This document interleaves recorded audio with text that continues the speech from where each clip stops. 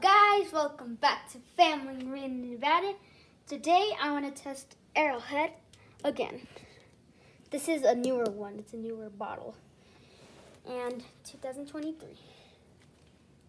TDS and pH levels.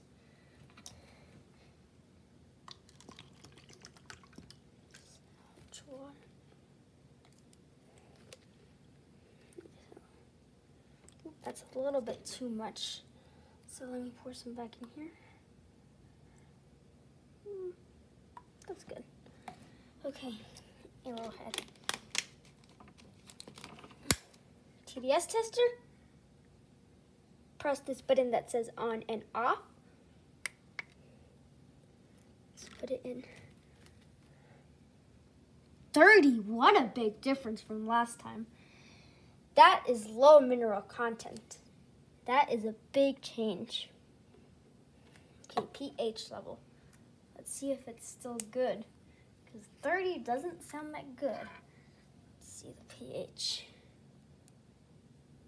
Okay. Let me add one more. Okay, there we go.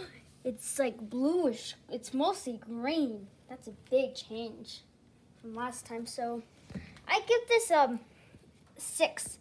That is acidic. That's a big change from last time. Okay, so thank you guys for watching the video and we'll see you on the next one. Bye. Look at this. It's green.